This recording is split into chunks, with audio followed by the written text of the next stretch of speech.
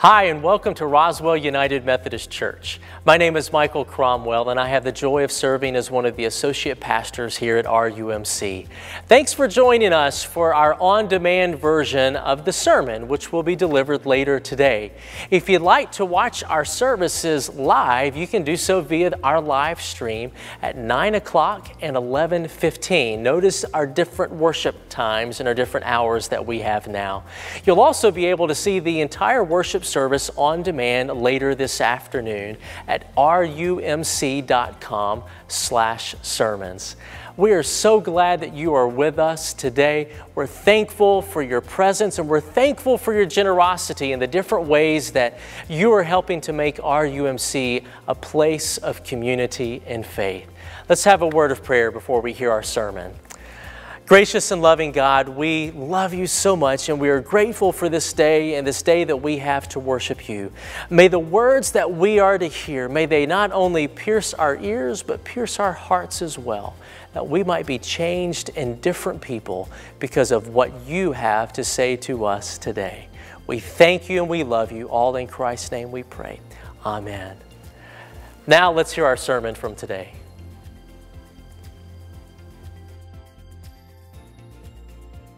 This morning I'm going to be reading from the Gospel of John, chapter 15, and I'll be reading verses 9 through 15. And Jesus is speaking to his disciples, and this is what he says He says, I loved you as the Father loved me. Now remain in my love. I have obeyed my Father's commands, and I have remained in his love. In the same way, if you obey my commands, you will remain in my love. I have told you these things so that you can have the same joy I have, so that your joy will be the fullest possible joy. This isn't my command. Love each other as I have loved you. The greatest love a person can show is to die for his friends. You are my friends if you do what I command you. I no longer call you servants because a servant does not know what his master is doing, but I call you friends because I have made known to you everything I've heard from my Father. Pray with me. Jesus, we need this day. May we celebrate in it and experience your presence and be transformed by it. It's in Christ's name we pray. Amen. It was about 110 years ago. I was pastor of a little church, kind of out in the middle of nowhere. And once a month, we had what we called administrative board. That administrative leaders from each of the main committees would come together and we'd meet together once a month. Well, I got to the meeting a little bit early, and there was a faint smell of something in the air. I couldn't tell what it was, I just knew it wasn't good. And as other people were coming in, they noticed the, the faint smell too, and that's when it hit me. There had been a, a cat for several weeks that had been hanging around the church. It wouldn't let anybody get near it, it didn't look too good. Um, but I hadn't seen the cat in about two or three days. And that was my thinking. It was a dead cat under the church. Well, the chair of the administrative board started off the meeting. Let's take care of first things first. Trustees, if you all will take care of the dead cat from under the church, that'd be great. Well, the chair of the trustees was surprised by it. She was pretty sure she wasn't going to be the one to crawl under the church and get a dead cat. So she was also sure that her husband wasn't going to do it, and she was sure they didn't have enough money in their account to pay someone to do it. So, being the clever person that she was, she said, Well, that cat hung around the church for a long time. It was really more like staff, really. It was the church cat, it was staff. And so I proposed that the personnel committee take care of the problem. Everybody just laughed and laughed. Thought it was really funny, and it was, except that the chair of the personnel committee, he didn't laugh at all.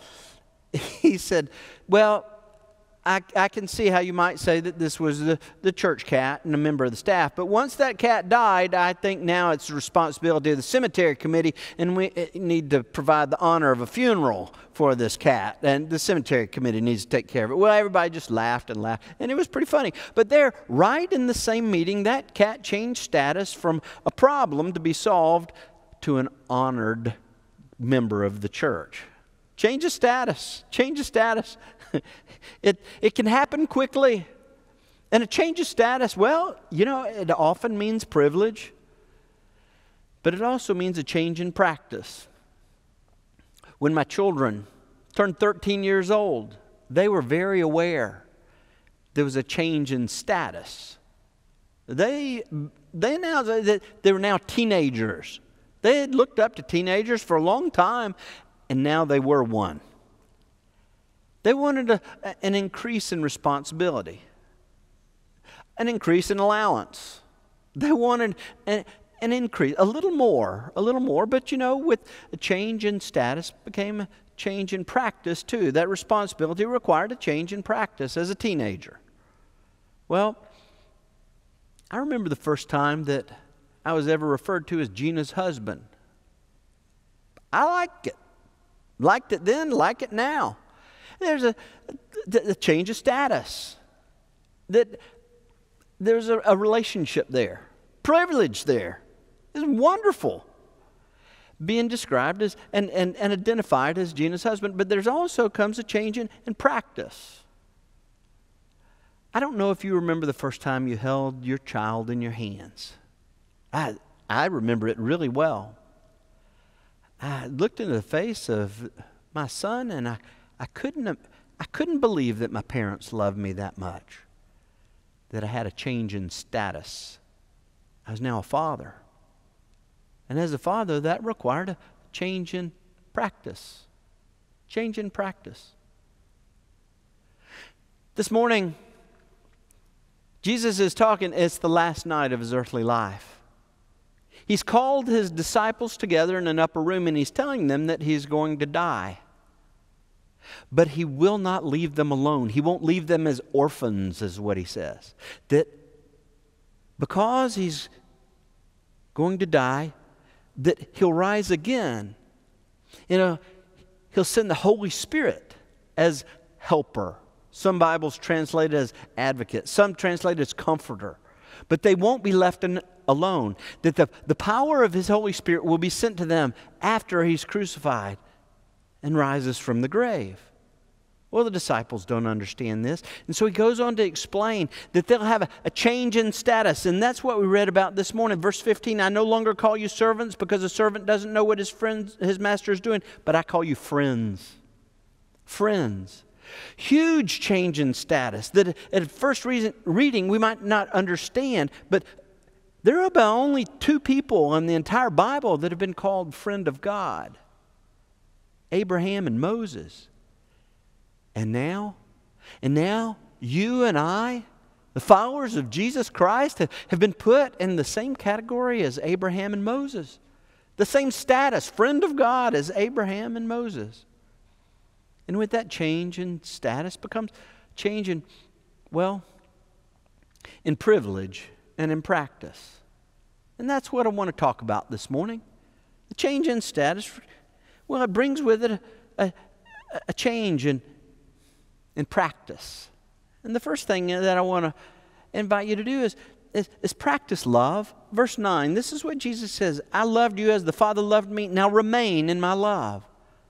To remain in my love means to practice and stay in my love. It's not a, a feeling, it, he's not talking about a feeling at all. He's talking about a response, a response that we practice as friends, as friends of God. There's a story that helps me out here. It's a story from 2 Samuel chapter 9, story of Mephibosheth. I don't know if you rem- remember the story of Mephibosheth. Uh, it it kind of sticks out there in, in, an unusual place there in 2 Samuel. That, you know, one of the changes that I see going around nowadays, there are a lot of folks out there that are naming their children after Old Testament characters, Old Testament folks. And but I haven't heard any Mephibosheth names out there being thrown around. And there's a good reason why. It's because the name means shameful thing. Nobody wants to name their child shameful thing. And Mephibosheth, quite frankly, is a mouthful. And this is a story where King David, he's sitting in his throne, and, and, it, and it opens up that David wants to show kindness, a gratitude to someone in the house of Saul. He says, Is there anyone in the house of Saul that I might show kindness to for Jonathan's sake? Well, this is, this is really a gracious, gracious thing Not just that he wants to show kindness to somebody, but to the house of Saul. Saul was the king before David, and Saul wanted to king, kill David. It was only Saul's son Jonathan that warned David and saved his life. Well, in gratitude of that, that David wants to show a kindness to someone, anyone that was of the, the house and family of Saul. So they bring to him a servant that was Saul's servant, Ziba. Ziba says, Well, there was this, this one child, one child of, of, of Jonathan that's still around. Well, Jonathan and David were best friends. How did he not know about the child? Well, that's when Ziba goes on to say the child was Mephibosheth or shameful thing. And this child was dropped by the nurse when he was born. So he wasn't good for the army. He wasn't good for going out and helping in the fields. wasn't really any good for helping around at the house. So they did what was the custom at the time, and they they gave him into slavery for his in exchange for his room and board. He was made a slave at a place called Lodebar. And Lodebar means place of no pasture. Here's the thing of shame in a place of no pasture, way out in the boondocks. And David calls him to show kindness to him. And the first thing that Mephibosheth does, he's, he's certain that he's in some kind of trouble. And so he throws himself down before David and he says, Who am I, a dead dog, that you show regard for me? That he saw himself as nothing more than a dead dog. But David calls him up. Calls him up. Four times he tells him that he'll eat at the king's table regularly. And not only that, he gives him the land and the possessions that belonged to his father and to his grandfather. It wasn't because of what Mephibosheth had done, it wasn't because of what he deserved. It was a grace shown by David. It's what he chose to do, a love shown by David. So often we think that, that as, a, as a friend of God, that, that, that we're supposed to conjure up feelings, but that's not the case at all. It's God who's moved us from being a shameful thing. That on the cross, when Jesus gave his life for you and for me, he moved us from, from the status of a shameful thing to being a friend of God, from the status of, of having a place of no pasture to being welcomed to the king's table from a life with no meaning, of being uh, uh, equal to a dead dog, to the life of a, a new creation, an abundant life, a life that has the quality of eternity that starts right now as a friend of God. And this is the same love that we show to others, not because of what they deserved or they earned or that they've been so loving to us, we'll love them back but even when they haven't been lovable. And that we remain in that love, that we practice that love. That's what friends of God do. Friends of God practice love. But the second thing I want to talk about this morning is I want to invite you to, to practice joy. Verse 11, Jesus says, I've told you these things so that you can have the same joy I have, and so that your joy will be the fullest possible joy. That we won't just have a little sprinkle of joy, that our joy might be full, the fullest possible joy, is what it says. Story that helps me here. In the Old Testament, God spoke to Moses, told him, Go tell Pharaoh to let my people go that they may celebrate me in the wilderness. Celebrate me in the wilderness. That God's intention for his people is to celebrate, to practice joy, to practice praise, to celebrate, to practice giving thanks, to practice giving honor.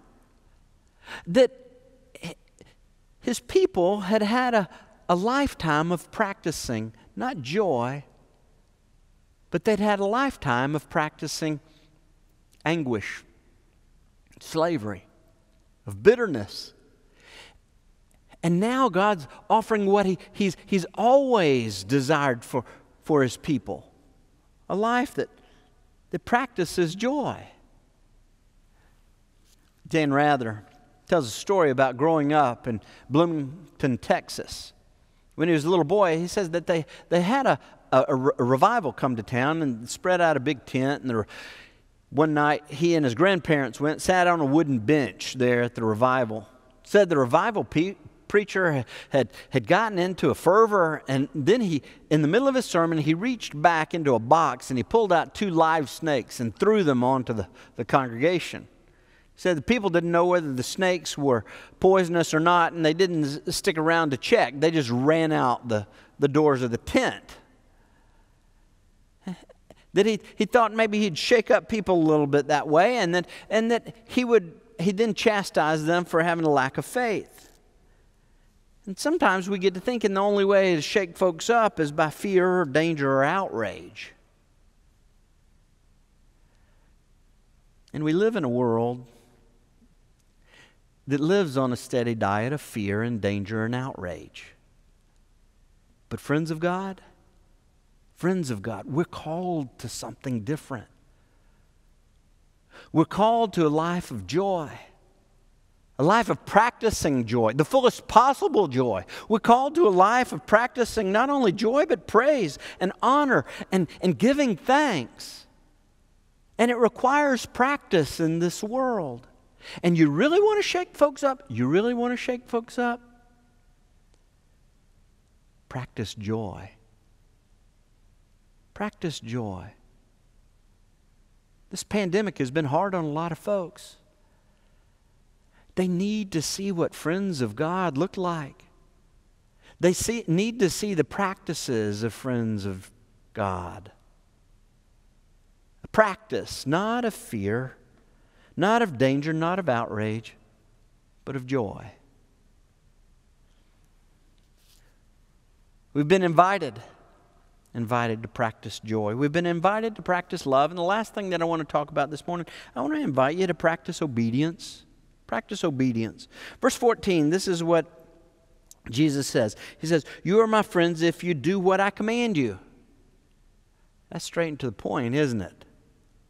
That it, obedience is expected. I think something's kind of crept into churches that, you know, this Christian life is, is all about the feelings and we can pretty much do what we want and God will excuse any disobedience. Well, yes, forgiveness is available to you and to me, but obedience is expected. Obedience is expected. When I was growing up, my grandmother lived with us for a while. And my grandmother was very Baptist. She was very, very Baptist. My grandmother was very, very, very Baptist. As a matter of fact, she was so Baptist, she was from a, a, a small middle Georgia town. And uh, whenever I met anyone from her town, my grandmother had an unusual name. Her name was Jack Cooper. And not many women named Jack Cooper, especially in a, a, a small middle Georgia town. And when I would ask him, Do you or know Jack Cooper? The response was always the same. She was a member of the Baptist church, wasn't she? that was how she was identified. Well, my grandmother told the story about being baptized as a little girl. She was very afraid of the water. And she told the preacher how uneasy she was with the, the water and her whole face going down into the water that it, the whole thing just scared her a lot. Well, the Baptist preacher, uh, being sympathetic, when he baptized her, he dunked her into the water, but he left her nose out. And so my grandmother used to joke she was 99% Christian. Her nose, she wasn't sure about that. well, it was pretty funny. But then I got to thinking, you know, I think we'd all like to hold back a little something, wouldn't we? And thinking that, well, 99% Christian, 99% obedient, that's, that's good enough and that we want to hold back. Hold back maybe, maybe a behavior. And then we excuse it by saying, well, well, this is just me. Or maybe we hold back a part of our lives saying, well, this is my school life, or this is my, my work life. Or, or my family just knows the way that I am. And we hold back from giving it to God. The good news is that the transformation, the change, the new life of a friend of God, it's not dependent on us. It's the power of His Holy Spirit, the risen Christ, that lives through us, that gives us strength we don't have. Romans 8 26 says, In the same way, the Spirit helps us in our weakness. This morning, there may be a part of your life that you've been holding back. Maybe a behavior, or maybe a, a place that you've been holding back. Or maybe it's an attitude, or maybe it's a person. Someone that you think, well, God will understand if, if I don't love them. God will understand if, if I don't accept them. And that you haven't asked for God's help, God's strength. I want to pray with you now. Join with me in prayer. Jesus, it's your strength, the power of the risen Christ, your Holy Spirit that we need most to practice, to practice obedience as your friends. It's what you, you desire, it's what you expect, and it's what you give us power to do. I ask that you breathe your spirit into the into those that place in our lives maybe that we've been trying to withhold from you. A place that we've tried to call mine rather than share it with you. Or Lord, it may be that, that during this pandemic that we've been withholding joy from you. That rather than as a friend of God practicing joy, praise, rather than practicing celebration, we've been listening to voices that have tried to get us to practice fear and anger and outrage. And we've been caught up not in being your friends. We need your strength in our weakness, strength that'll transform us, shake us up with joy, a joy that's the fullest possible joy. Lord, it may be that um, we have, have not received your love. We thought it was something that we had to work for, something we deserve, something that we earn. And we've not come to your table as your friend. Instead, we've, we've wanted to come as your servants, even though that you call us friend. Starting this day. Breathe into us the power of your Spirit that we might have strength enough, strength enough to come in grace, to come in love, and responding as a friend to your table, to put aside the shameful thing, to put aside that place of no pasture, and to freely come to your table. Lord, may this day be a day transformation, of change, because your Spirit breathes through us. It's in Christ's name we pray. Amen. Thanks again for joining us today. Um, just a reminder, if you'd like to watch the entire worship service, you can do so via live stream at 9 o'clock and 11.15 a.m. You can also view the service on demand a little bit later this afternoon at rumc.com slash sermons. Also, if you have any prayer requests, we would love to hear about those. You can send those in to pray at rumc.com. Also, if you'd like to give of your tithes and your offerings, you can do that online as well. And that's at rumc.com slash giving. Uh, thanks again for joining us today and for honoring God with your presence. We hope and pray that you have a wonderful week, and we look forward to seeing you again next week.